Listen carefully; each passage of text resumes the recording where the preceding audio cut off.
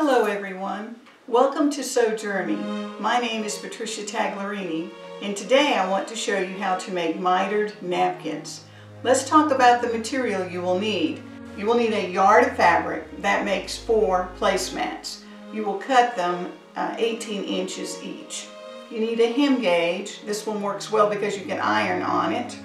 You need the wing clipper 2 because of its mitering ability. And you need a marking tool. And obviously you need thread that matches your fabric. This is the back of the napkin. It also has these mitered corners here. Good thing about napkins is you can throw them in the washing machine and reuse and reuse them. All right, to start with, you need to cut your fabric 18 inches square. Then I'm going to use this gauge. This is really a hem gauge, but it works perfect for what we're doing. This ruler is used for garment making, but because you can iron on it, it makes the folding of the napkin fold perfect. Fold it up an inch and a half, and we're going to pull it all the way up to that mark. And then I'm going to slide this down so it's up tight. And then you're going to take your iron and just press it. And it creates that fold. All right, the next fold we're going to make is going to take, take your fabric and fold it back to the fold. Fold it up and then press it. Pull this up to an inch and a half and you'll see it's marked right here. So pull this up and then push it just a bit to keep it taut all the way around and then iron. I'm not a recommend, I don't recommend steam on most fabric, but in this case I do because you definitely want a good crease here. Then do the other side. I know our intent is to do this side, this side, this side, and this side, but they fold better if you do top and bottom, side and side. All right, once you have that marked, then turn it down to the fold line you just made and give it a good press all the way down. Move this out of the way. Do the same thing here. Flip it around to the other side. Open it up. You already have this folded here. You don't want to do that because it's going to mess up your miter. Open it up, fold it down, and press it all the way down. I know that this marking seems a little crazy right now, but in the long run, this is going to make it much easier to get that miter in. All right, let me come over to the cutting table and I'll show you why. You're going to need a ruler. I prefer this Wing Clipper 2. It's really designed for flying geese, but it is perfect for what we're doing. I really like it because it has a 45 degree angle line here and here and it gives you this quarter inch which is very important when it comes to our napkins. This is a FriXion um, iron out pin. I really suggest the felt because it doesn't leave the ghosting effect, but I don't have it. And since I'm marking on the back side of this, it won't matter. So come up to that first crease you made, and in the corner, you're going to put a mark.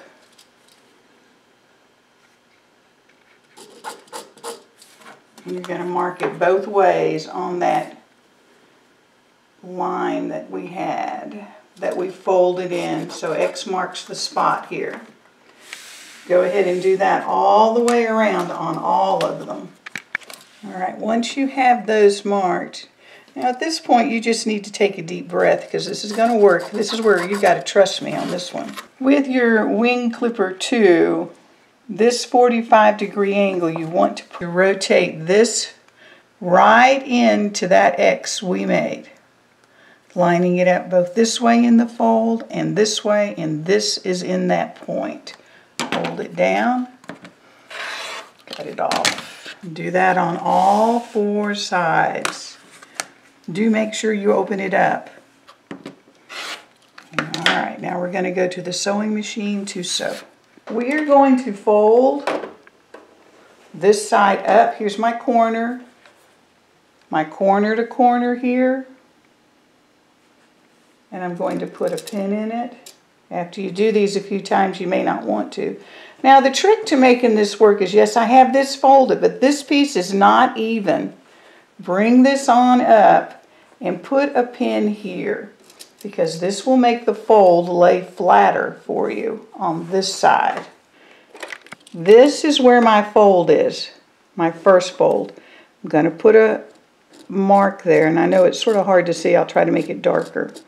This is the fold line. This is where I'm going to start sewing a quarter inch in and down to this fold, not here.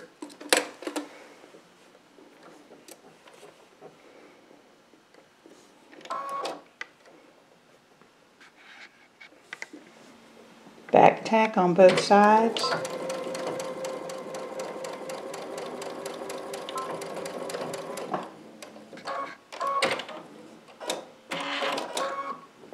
The best way to turn it is to hold your one finger all the way up. I usually have my thumb. Fold this over and on the fold and flip it back. Try that again for you. Put your thumb in, fold this on the fold and flip it back. Do that again on all four corners. So come in, fold it over, flip it in. Pretty much will come out straight by itself thumb in, fold it over, flip it back. All right, now I usually take a, a, a, hem gauge and make sure I have it pressed all the way out, but these are out really well. Now I think you can see where we're going from there. You're going to turn this under where the fold is, turn it under where the fold is, and then I'm going to pin. If you use glass head pins, you can iron on top of them. If you don't, please don't iron on top or it'll melt your plastic. Again, come over here, tuck it in. Make sure your seam on the inside goes one way.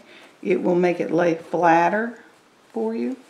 There you go. Because fabric has a memory, it allows it to lay perfectly back where we want it.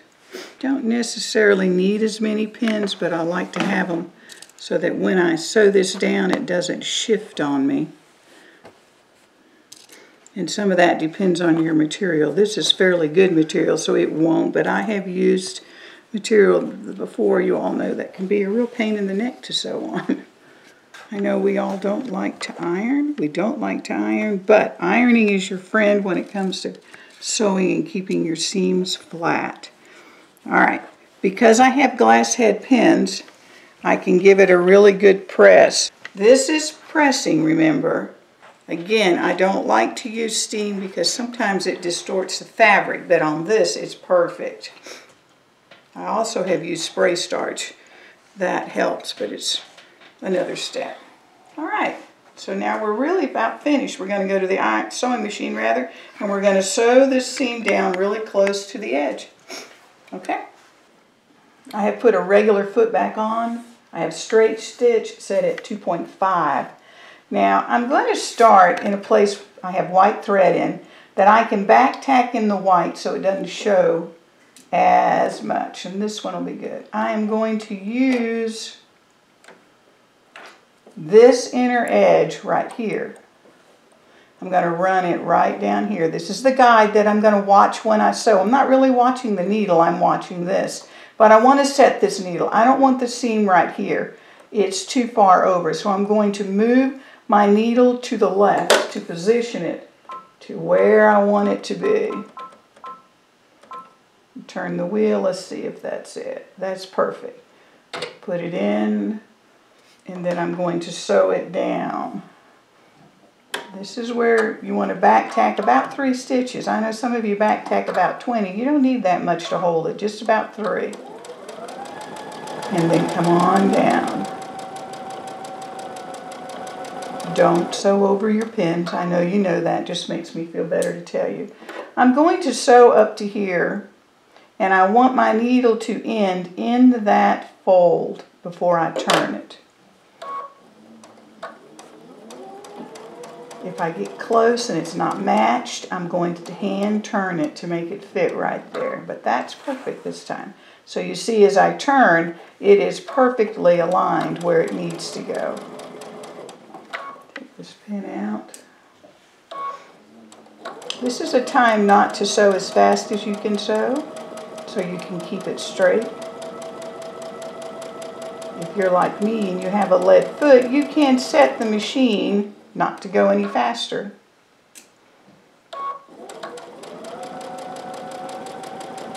When I sew with my granddaughter, I always turn it down for her because she really has a fast foot.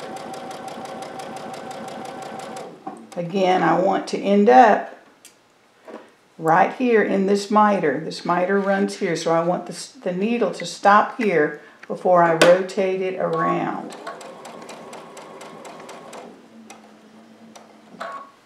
Maybe one more, and I'm going to hand turn that one and move this back just a bit. There you go. Because I want it perfectly in that fold. There we got it. These make lovely gifts. A set of four, set of six. Especially if you're making the placemat that I'll show you how to do. It can be made in Christmas fabric, Thanksgiving, every day as this is. Dress up your table just a bit. Again, I want to stop in that fold. Notice I'm using a clear foot here so that I can see where that fold is.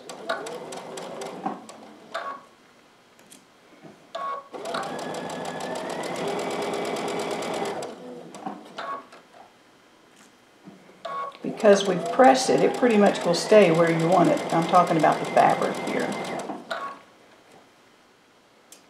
We use fabric napkins a lot.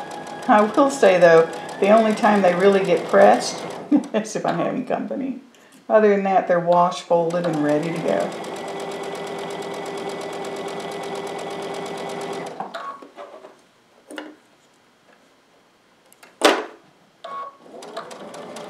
Want to sew back past, excuse me, where I had that other back tack, just a little bit so that it doesn't double too much.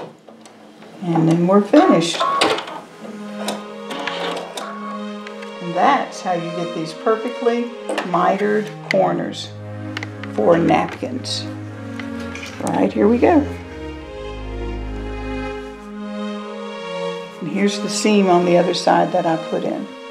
Let me know what you think in the comments below, and I'll try to get back to answering you. Thanks for watching.